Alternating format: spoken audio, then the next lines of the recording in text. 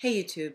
So I've never talked about Venom Fang X before because really what's the point? He's pretty much the most famous Christian on YouTube because he's basically a talking punching bag for every YouTube atheist who wants to get in some licks. But today I saw his most recent video and it's just too ridiculous not to mention. Um, first of all, he has this amazing new intro and I am totally jealous.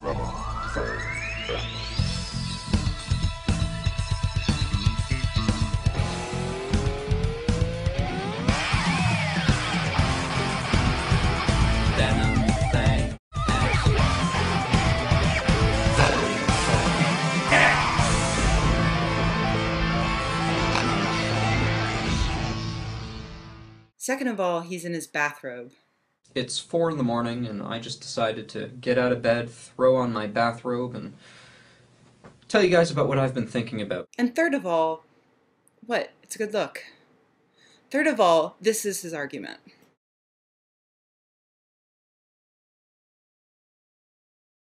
Of course, there's a serious problem with two of his premises. The only two premises, in fact.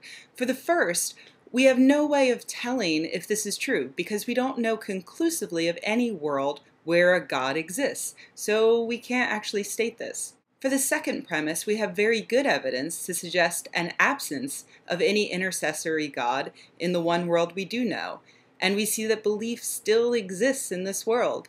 And that's pretty good evidence to suggest that his second premise is also wrong, and therefore we can completely dismiss his conclusion. This is basically a new, dumber version of the fallacy argument from popularity. It's used to support things like homeopathy or acupuncture by saying if X number of people have been doing Y for Z number of years, then surely there must be something to it.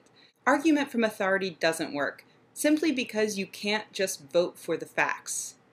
For instance, if I tell you that I'm going to give you a shoebox full of something and you have to guess what's in the shoebox, it doesn't matter if all of YouTube votes that it's $10,000 in small unmarked bills.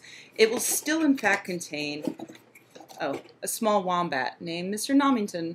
And no, you can't actually have him. The point is that belief in something can exist despite a lack of that thing actually existing.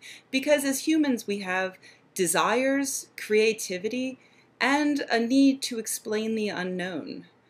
God tends to be a handy concept because it explains things that we can't otherwise explain.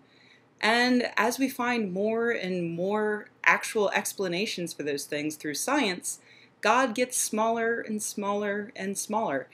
In fact, it's to the point where you could pretty much fit that God into a shoebox. But believing he's there won't actually make him exist.